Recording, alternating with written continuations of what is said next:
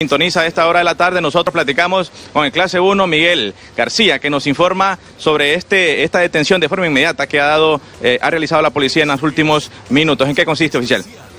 Eh, muy buenos días, eh, gracias por la oportunidad. En este momento me es grato, ¿verdad?, compartir con ustedes la noticia de la rápida y efectiva y pronta, ¿verdad?, respuesta que ha dado la Policía Nacional con todas sus unidades orgánicas en lo que es el sector de, Omoa, dando respuesta a un hecho lamentable, ¿verdad?, el cual es el fallecimiento del ciudadano José Inés Alberto, ¿verdad?, el cual habría pues fallecido, ¿verdad?, en horas de la mañana eh, a causa de heridas provocadas por arma blanca. Es así que la Policía Nacional pues despliega, ¿verdad?, lo que es pues todo el material y recurso humano disponible para darle una respuesta positiva a la ciudadanía, logrando así la detención del ciudadano Daniel Alberto Santos Campos, de 35 años de edad, como principal sospechoso de este hecho, ¿verdad? El cual en estos momentos pues ya se encuentran las, eh, los compañeros de DPI realizando las averiguaciones pertinentes, ¿verdad?, para presentar formalmente este ciudadano ante las autoridades competentes. ¿Ya tienen la denuncia por parte de los familiares?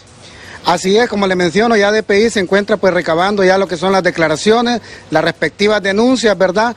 Pues para relacionar los hechos y presentar formalmente el caso. ¿A dónde lo capturan a él? El muchacho se detiene en lo que es el sector Chivana, específicamente en las áreas de la playa.